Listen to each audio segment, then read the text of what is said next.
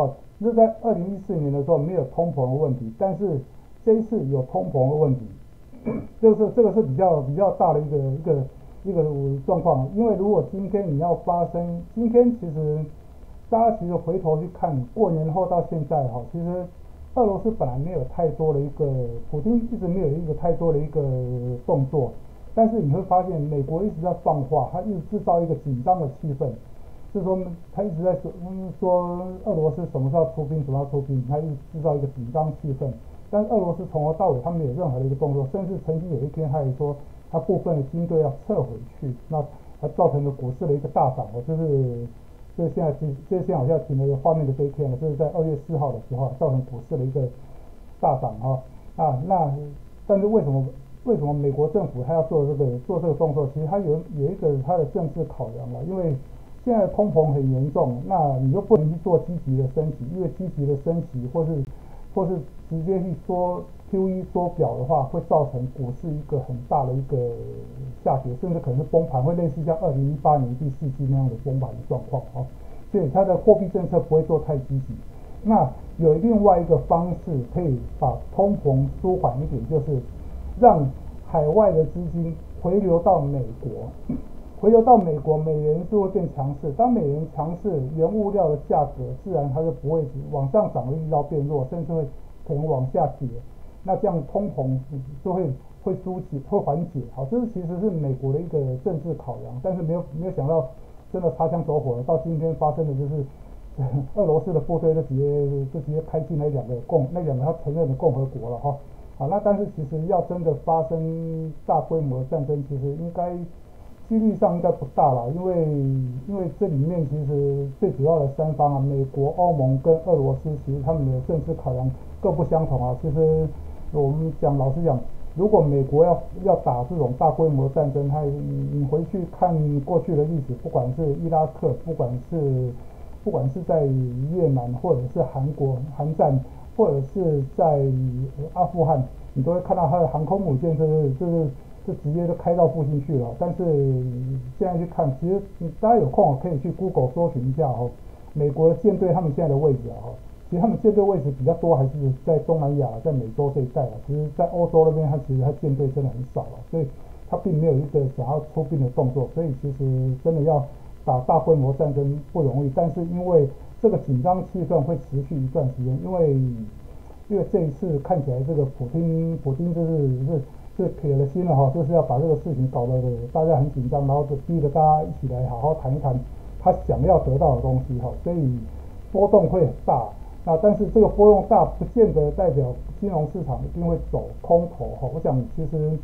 呃 我们回去看历史了，其实股票市场特性就是这样，它跌的时候是急跌，然后涨的时候是缓涨哦。那这个地方其实也就是刚刚好，就是今年农历过年前一月份，纳斯达克做了一个修正，我们看日线就好了。一月份的时候做了一个比较大的修正，这个就是在过年农历年前的时候，大家看到呃美股大跌哈，然后接着过年后它做了一个反弹，反弹后就。我们就就股票市场来说的话，前面做了一个修正下跌了哈，然后反弹，接下来它其实应该是要再再回来回撤前面的低点哈。那这一波的一个乌克兰的形势比较紧张的下跌，其实就是刚好回来测一月份那个低点，就这样子而已了。那其实你就看这个，嗯，就看这个画面这个 K 线图，纳斯达克它其实是很完整的，从一二六一二这样跌下来到今天破底了。啊，完整的跌了一个五波段了哈。那接下来，当然我嗯，我是觉得短线上其实这个地方嗯，不一定说把它看得非常坏，嗯，那但是有可能会有机会做，会有会有出现一个反弹。那在时间点可能应该下个星期可能机会稍微大一点吧，可能会有反弹，但是先看反弹了，那后面再说了哈。好，这个就是对乌克兰这个事件的一个一个简单的一个看法，给大家参考。我觉得其实。今年大家有一个心理准备，就是今年的股票市场，呃，不管通膨，不管升息，其实那两个因素其实不是造成股市大跌的一个最主要因素。因为你回头看过去的一个经验，通膨也好，或是升息也好，在这个过程中，其实股票市场其实都是往上涨的哈。因为通膨代表物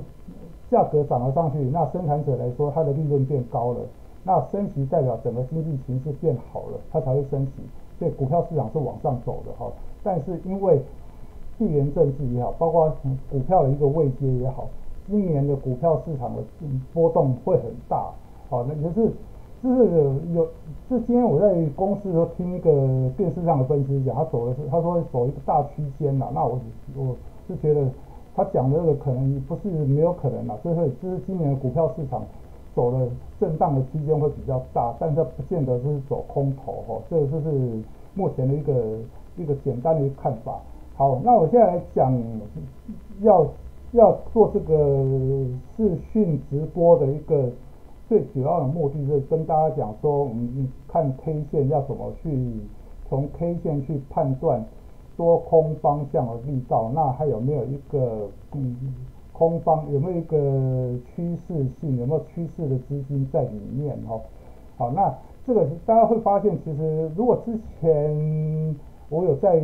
开视讯直播的时候，大家有听我讲，会发现，哎，我的 K 线图，今天的 K 线图跟过去我看的 K 线图都不太一样，因为我没有技术指标了，我只有一个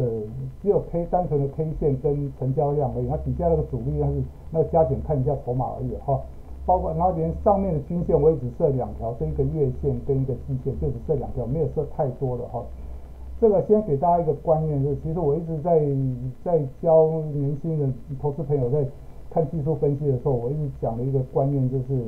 技术指标它其实是从价格来的。我给大家看一个技术指，看几个技术指标就好了哈。技术指标它其实是从价格来，你现在看我们要现在这个选项。它这一堆技术指标，它上面写的，它上面的的标签，它写的价格。好，我们先设一个 RSI，也就是先讲是为什么技术指标从价格来，是先有上方的股价的价格，才会有下方的技术指标。啊，用 RSI 来说好了，这个画面来看呢，六天 RSI 跟十二天 RSI，以十二天来说好了，它就是过去这十二天每天它的涨跌。不管涨跌的这个价格，全部加起来就是这十二天的一个波动的一个一个区间，然后上涨的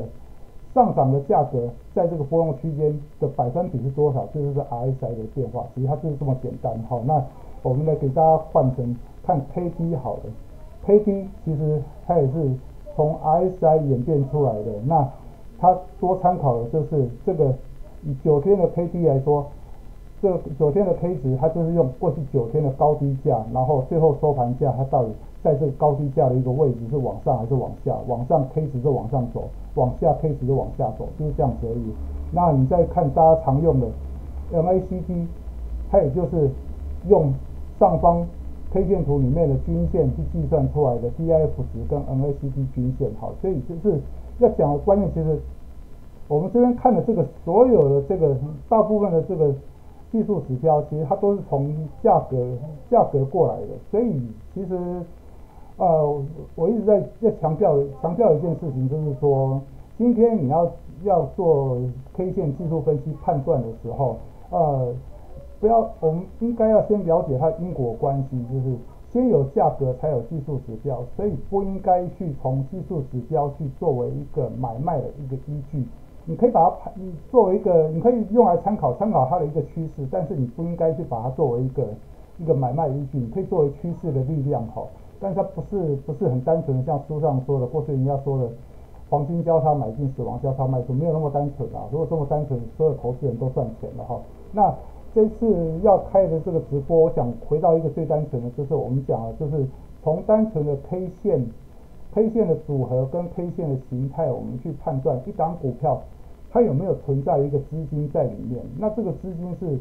中长期的，可能是中长期资金还是短期的资金？好，我们可以去从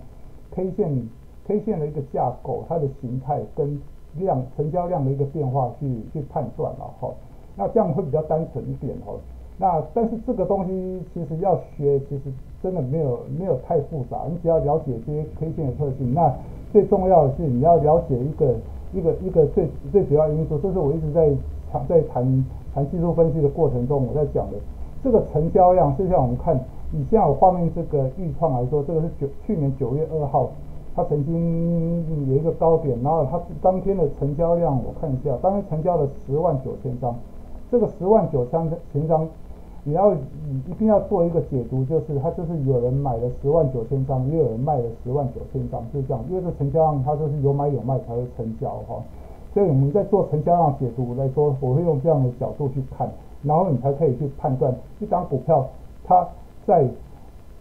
往它在往上涨或往下跌，它的成交量到底我们应该去怎么去判去解读它的一个一个多空的一个力道哈。那再来就是形态学的部分哈，因为形态学其实是会是在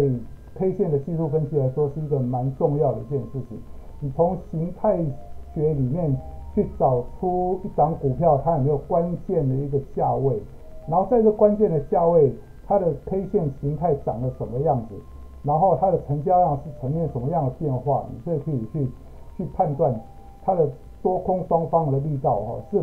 是买的上去的攻击的力道，还是还有人在出货？然后去思考这个问题哈。好，那形态其实也没没多复杂，其实它就是只要 K 线图上面高点跟高点可以连出来的线，跟或低点可以跟低点连出来的线，它都可以形成一个叫形态了哈。那现在以以预创来说，我们讲最简单的一个形态叫 W W 底哈，像预创这个地方，去年。去年这段这段时间，大概在八月八月中旬，然后一直到十月中旬，一直到这天，这天它放量，然后突破了这个叫颈线，只要高点跟高点可以连起来，那个是叫颈线哈。这个是这个颈线很重要，大家要要讲我刚刚讲的高点跟高点连起来，那个叫颈线，这个叫做一个关键的价位，也就是今天你要判断一张股票。它有没有一个主力的一个企图心？你就看这个颈线它突破的时候，突破的时候它有没有一个大的成交量？那代表它有没有一个大资金它去做攻击？然后接下来你只要观察就是，当它攻击突破后，它回撤颈线它有没有跌破？你就可以判断它是这个攻击的资金是玩波段的还是玩短线的的资金？好，如果是玩短线的，它。攻击突破之后，它马上就跌回去了。那那我马回撤颈线就跌回去了，那就是短线的资金好。那如果它突破颈线之后，它没有再跌破，回来测颈线它不破了，甚至连测都不测，它直接继续往上攻，那代表这个资金它是是玩真的，它可能是波段的资金。好，那这个所谓的形态你要看的就是它整理的过程。以 W 来说，这个 W 形成的时间越长。代表它后这中间它攻击的是波段的资金在攻击的机会是越大啊？为什么呢？因为对以以预创来说，你看从八月中旬这个低点，一直到十月中旬中下旬这里开始攻击，它累积了两个月的时间，这中间两个月的时间它可以吸纳了比较多的筹码，那吸纳比较多的筹码，它可以发动，它发动攻击，它成交量一定会大。那成交量大，因为它吸纳这么多的筹码，它必须要去拉一个比较像样的波段，那往后走的时间跟空间也会比较大，它才能够去出货。不然它两个多月吸纳的筹码，例如我们简单举个例子，如果这两个月有个主力吃货吃了两万张，就只就只让它涨三天，你叫要要三天能够把这两万张全部出掉，其实是有有难度的哈，它它必须要比较大的空间跟时间来去做出货。但是如果这个 W 形成的时间很短，它只有两个两周来说的话，因为两周它吸纳的筹码不多，可能只有几千张好了，那它的供给的时间跟空间就不会大，因为它几千张它其实出货很好出，它不需要去拉那么大的空间出，而且它不需要去为了这几千张费那么大的力气去拉做拉抬哦，这个就是从 K 线来去去判断一个。K 线的形态啦，跟 K 线的组合，我们来去判断多空的力道的一个方式哈。那这边我要讲的是，我会建议大家啊，其实你要去用 K 线去判断一档股票的操作的过程，呃，我会建议大家会从中长线的一个角度去思考会比较好，不要不要去从这个形态判断出来去做短线操作哈。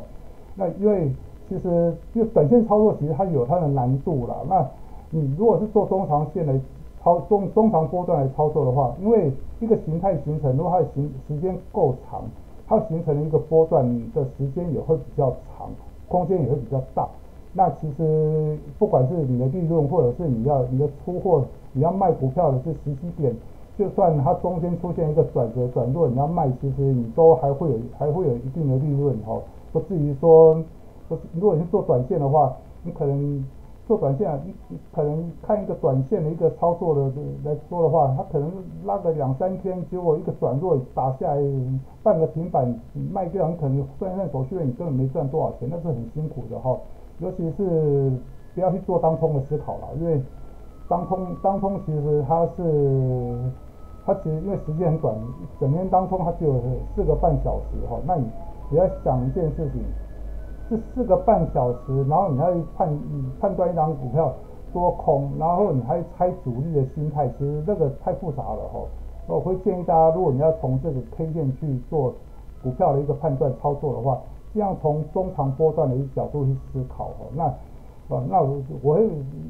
接下来的直播的时间，我想可尽可能把把每周的直播的会定在周三或周四，这样大概比较好，比较比较有个固定的时间哈。那我会慢慢跟大家讲这个些形态它的力量到底，这多空的力道到底是怎么样。我们来举，就用画面来说，W 底来说好了。以预创来说哈，所谓的 W 底，它一定要一定要先形成两个底，我想。其实很多股票的一个波段的一个底部的形成，它通常都会有两到三两到三次，甚至四次的一个一个底部的出现哈。所以刚刚为什么会讲说纳斯达克一月份建了一个低点之后，它做了之后二月做了反弹，然后它势必要再做做一次的一个回撤底部的一个动作，原因在这里哈。呃，很少看到有这种 V V 型反转，然后往上走一大段的哦情况，会出现 V 型反转走一大段，通常只有一个情况啊，就是就是发生突发性的一个利空了，嗯，啊，例那个系统性的风险啊，就例如像二零二零年的三月那种系统性风险啊，就这个这个地方，因为二零二零年三月。发生了疫情，然后有这种系统性风险发生，然后政府一定有做一些一些手段，他要做做一个救市，就或者是一些降息的一个动作，才会导致这种比较大的 V 型反转。不然，不管个股也好，指数也好，你知道要出现这样的 V 型反转频率真的很低哈。大部分都是都是要反复反复的去测底，至少要测一次。一次到两，至少要测两次到三次了。这底部我们看到就是要有要两三个底部的形成了哈，它才会才会形成一个比较像样的形态哈。那以以豫创这张股票来说，它去年八月它这个地方先先下来了一个底部，那这个既然有一个底部，它已经从上面下来了，股价已经从上面下来嘛。好，那它当它从上面下来到这个低点，我们大多数的投资人不可能在这个低点去买，会买到那个叫运气好了，那个其实。就是不小心不小心看到价钱，然后就跑去买进去了哈。那那其实大部分人不会在这边买，那会在这种地方买的，其实大部分都是大股东啊、法人啊、大户啊他们哈。那因为他们 他们是属于中长中长期操作的哈。他他在这个地方，他在这种低价去买，他只是觉得这个价钱他觉得嗯够便宜合理的，他就去买。就只有他们只有他们才有可能在这种价位去买，不然我们一般投资人其实要再买到这样不容易哈。好，那第一个底部形成了，它就会做反弹。就这个是从上面下来之后，在底部有人买它了，买了以后它止跌，止跌。这是我们在套去股市里面常说的一句话，就是股价跌不下去，它就是要往上涨；涨不上去，它就是往上往下跌。好，从这里开始做一个反弹，反弹到这里，就是我刚刚讲的九月二号这天爆出一个十万张的大量。哈，好，接你要要注意的一件一件事情就是。它既然是从上方下来，出现了第一个底部之后，它的反弹势必要碰到碰到什么东西？碰到前方下跌过程中套牢筹码会出来，这是第一个。然后为什么爆出十万张一个大量？这里面这个爆出这个大量，其实通常不会是好事哈，因为这个地方你要看的就是它不是突破新高，它只是一个低点反弹上来一个一个相对高点。那在这相对相对高点爆这么大量，它其实不会是好事哈。等一下，我会跟大家讲什么情况爆大量才是才是比较好比较好的哈。所以这个地方爆这个大量，就代表的是这个地方有前方套牢筹码出来了，也也有这波从低档这里低买上来买在这低档区，短线获利了结，卖压都跑出来了，所以这个大量它不是好事，原因在这里，它势必就会做一个做一个修正，因为而且我刚刚已经讲了，要出现这种 V 转，除非有突发性，除非是以以以以大盘来说，这是要有系统性风险，然后政府要救市，那以个股来说，它就是要在低点。要做 V 转，它就是要公司要发布大力发布大力多，才有可能你走这种 V 型反转，不然它都是要做回撤的动作。所以它爆大量以后，是它必须势必要做回撤，回撤以后，接下来拉回跌下来量缩，这个 OK 正常。然后接下来它做了一个反弹到这里，这方是九月二十四号、九月二十七号的时候，这个反弹你会发现它的成交量不大，然后它也碰不到前面这个反弹的高点，所以你代表告诉你是。这里没有一个资金，没有一个供给的资金在里面。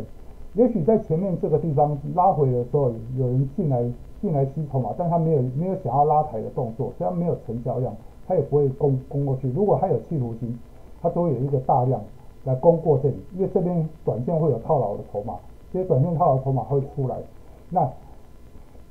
只有特定的特定的投资人大户，他主力。他真的想要攻击，他才会才会把这边前面套牢筹码都吃掉，所以这个地方反弹到这里，它成交量放不大，又过不去的情况下，你就不应该在这个地方追高，因为它很可能再会再会做一次拉回测测什么测前面这个最低点哈，然后它是最测这个低点，所以这个地方才是真正我们刚刚讲的第二次的一个回撤哈，那前面这个只是这个只是小幅的修正了，好，那这个地方才是真正做了一个回撤，好，回撤的这个低点一样量缩，然后。接着又开始在这边盘了，在这里，好，这里又开始建了建了一个低点以后，又止跌，这个地方就是这个止跌，这个止跌就是有人进来吃，有人进来吃筹码，然后把一些受不了的一些卖压消化掉了以后，这样才会做止跌，就就多空力道是这样判断的哈。然后止跌以后一样就是跌不下去，它就会反弹，开始做反弹，一样量都出不来，好。量出不来以后，接下来才是重点了。你在你在想一件事，从刚刚我们讲了九月二号一个九月八月中旬这个低点开始，一路过来到这个地方，这里到十月五号这个低点，这段时间一个半月的时间，它其实中间高档的地方我们不算，这个地方我们不算，它其实已经有人在这个过程中，其实它也吸纳了一些筹码了，啊。就甚至包括后面这几天，它也一样在量缩的地方，它也开始吸纳一些筹码了哈。然后你要要想一件事情，我们要开始思考一件事情，就是这个地方跌到这里，它回撤的前面低点，它并没有一个爆大量继续往下杀，代表前面吃筹码的人他们并没有跑货，因为在这个地方还有短线跑一趟，但是他继续又吃筹码，他没有，他并他手上了一个波段的资金，他并没有全部跑光哦。所以他不会有这种不计价杀。如果他今天觉得这样这张股票如果玩不下去，他不想玩，他就直接不计价的给你砍。哦，只要有只要有人接，他就砍。啊，那个那个成交量就会会爆炸，下跌下来，它就会会有一个大量。好，那这在它这段时间，它都是这样说，表示今天该消化的卖压也消化的差不多了，它该吸纳的筹码吸纳够了之后，它才会在这个地方先出第一根量。但是这一根量，对我把它放大一点哈。好像放大也看不出来，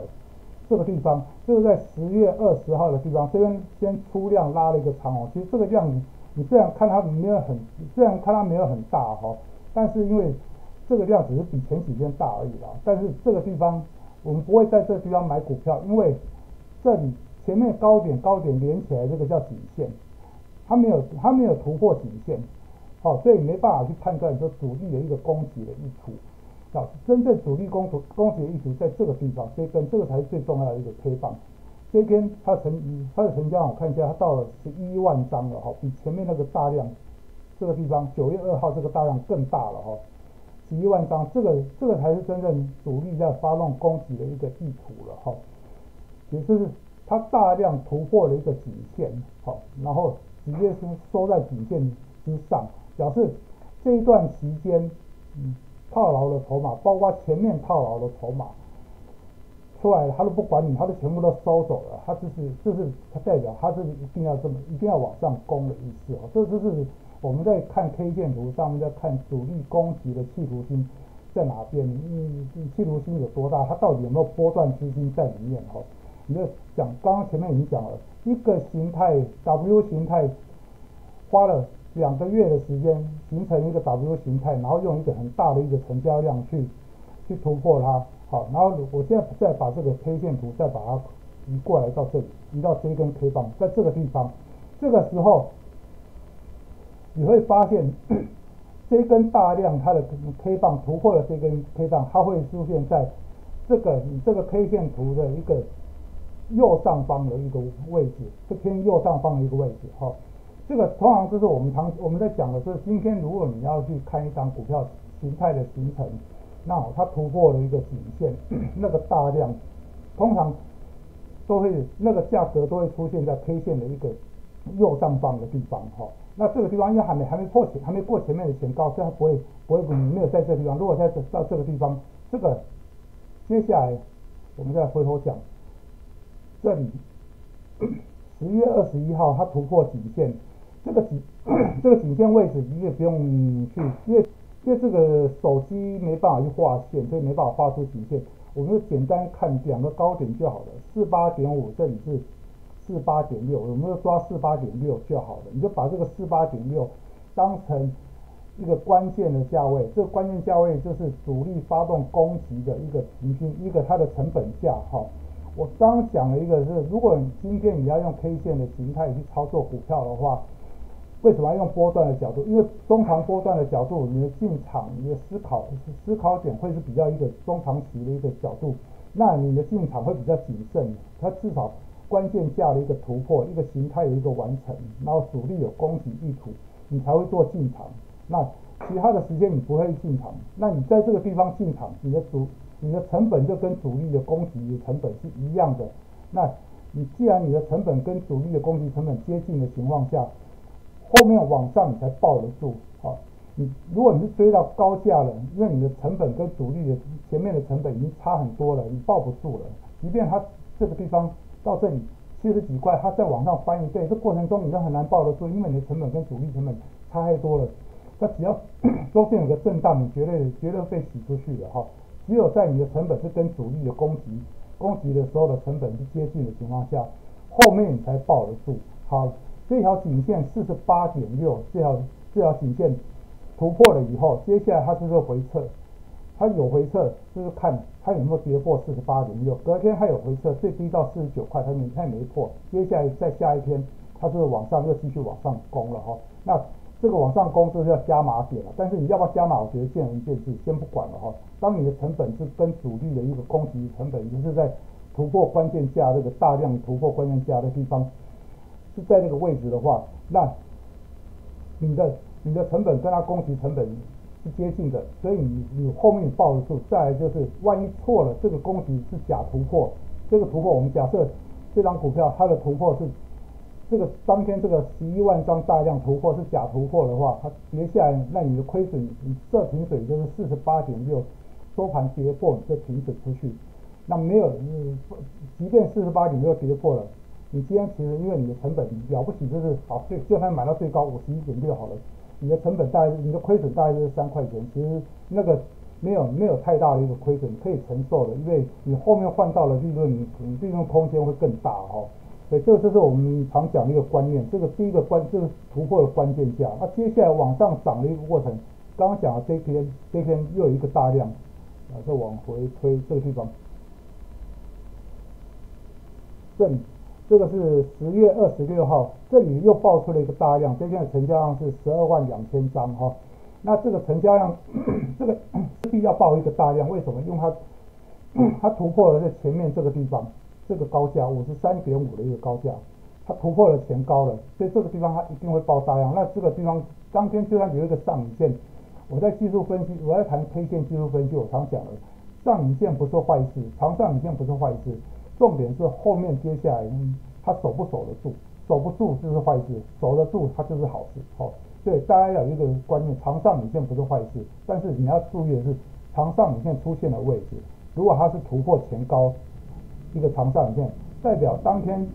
主力他曾经发动攻击往上买买了，但是遇到卖压出来的时候，他缩手，他不暂时不买了，他休息了，他要看这个市场，他要看这个卖压到什么程度，因为这个卖压这个地方出现的卖压不会只有前面高点套牢卖压，它也会有这段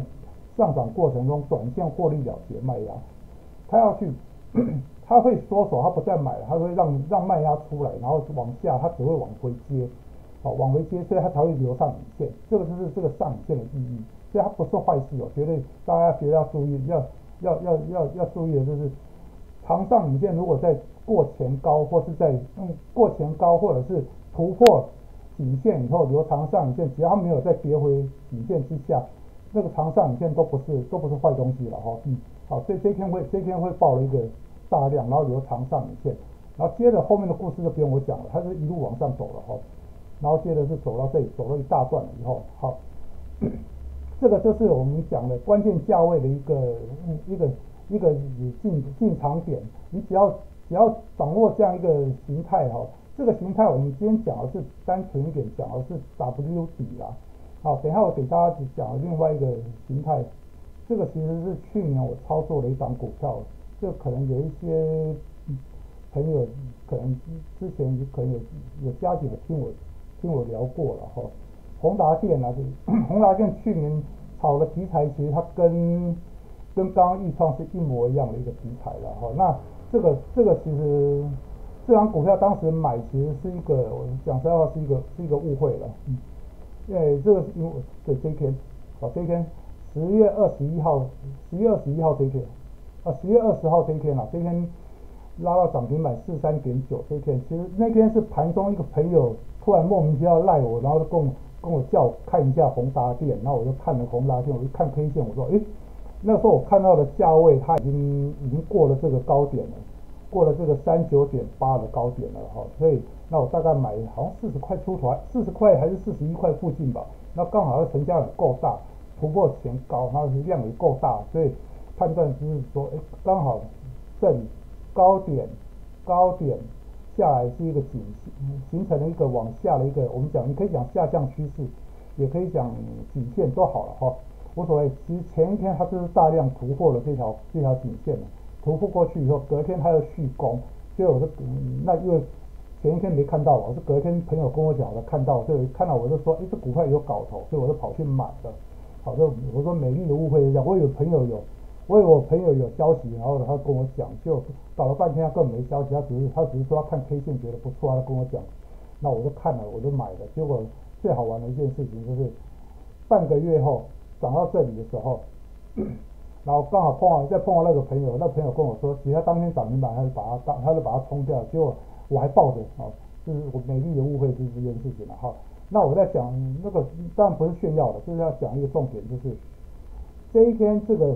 这前一天这个地方突破了短期的一个高点，也突破了，也突破了前面这个下降的一个下降趋势线或者颈线，大量这个地方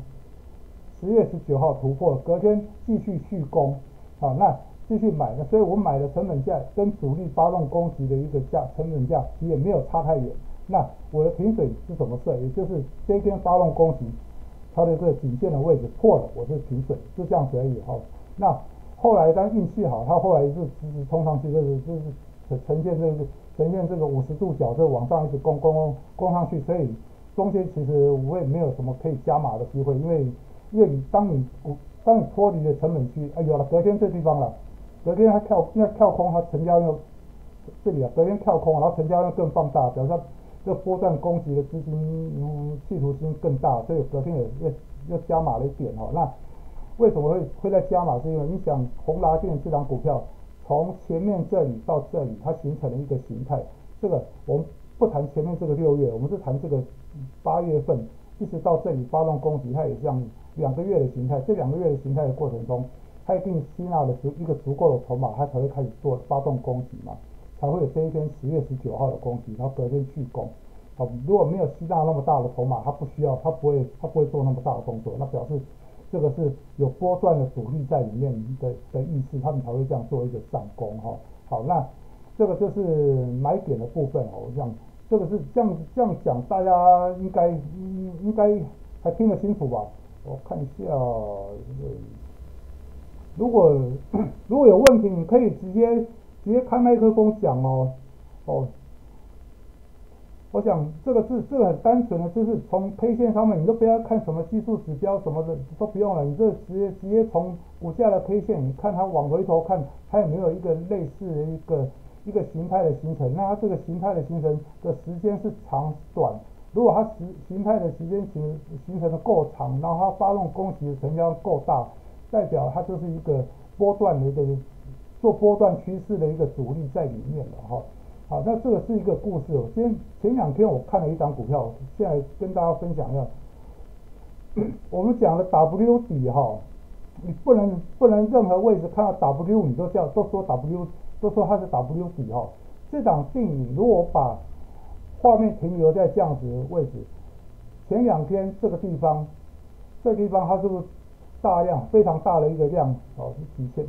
四万七千张的成交量。突破颈线了，站上了，那你这样看它是 W 底了哈。但是其实我看到它是是也是昨是前天呐，前天我看到收盘我看到它，我说哎，这好像有个 W 底哈。那但是如果我把它再缩小，把这个图好没办法缩小了，看周线就好了。好，回来看周线，这个 W 这个 W 出现的位它位阶不同啊，它是从七块多涨上来哦。哦，如果你因为这个。就是手机没办法像电脑那样子，我们可以看的，呃，这样把它横过来看好了。好，你看它这个，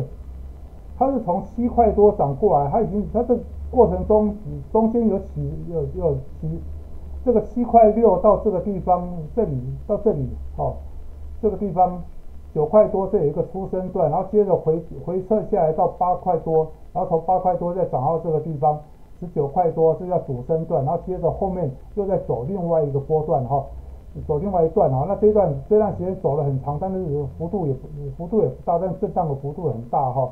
啊，那这个地方你再说再说它是 W 底，我认我必须要打一个问号了哈，然后我再把它缩小回来看日线好了哈，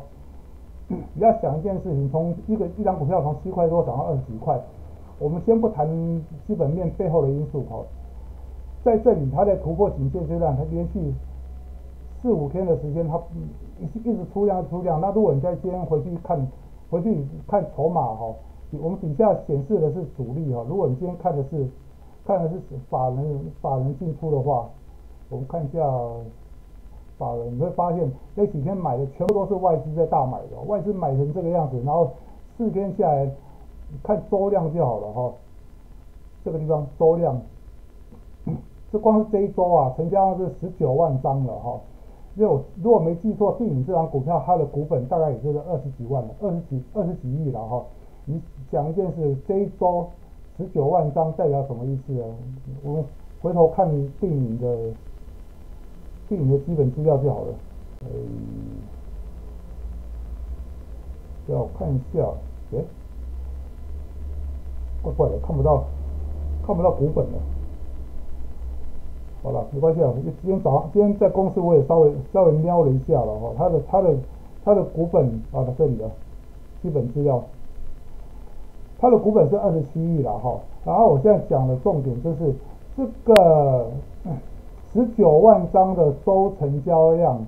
然后十九万张将近二十万张，等于它的股本二十七亿，代表它总股本就是二十七万张。光这一周，它的公司的股票大概差不多，呃，差不多有有七成到八成，在这一周已经换走过一次了。其实这个这样的大量其实不是好事哦，哈。哦，这个这一次，当我昨天我前天我看到这张股票的时候，其实我就打一个问号，就不是很敢买它了，哈。所以这个这大家是要看，同样是形态，它出现了一个股价的位阶不同，然后你要去观察它的成交量的变化。如果像这张股票，它这个这这个很明显是外资拼命的买嘛，然后买硬买买上去，买到创新高了，然后突突破了 W 底的这个颈，除了突破了 W 的颈线了哈，但是你只要再用思考一件事情，外资买成这个样，那到底这个筹码到底从哪来的？也不过二十七万张的股本，结果搞出了一个十九万张的一个成交量，一周一周而已，这周还没过完呢，好那。要想这个问题了哈，那所以不是说任何一张股票看到 W 都可以，都是都是可以追可以买的哈，还还是要看一下股价的一个位阶哈。然后讲几个故事好了，为什么我要开这个群？就是原因就是，因为从我因因为我一直在思考一件事情是，K 线图啊，大家都在看，但是为什么有人做股票会赚钱，有人做股票就是不会赚钱？但是好，明明大家看的 K 线都是一样的，所以年轻的时候我就就去找去看，而且就到处去问人，那就会看，哎，是不是有人这些赚钱的人，他们是用了什么指标，我用没用的时候，我就去我就去学着去试着去用这些技术指标，好，所以大部分大家想想得到的技术指标，其实大部分都用过一轮了，然后那但是后来发现怎么还是我不会赚钱，人家还是赚钱，那我就想那是我的指标参数设错了，哈，就我去改指标参数，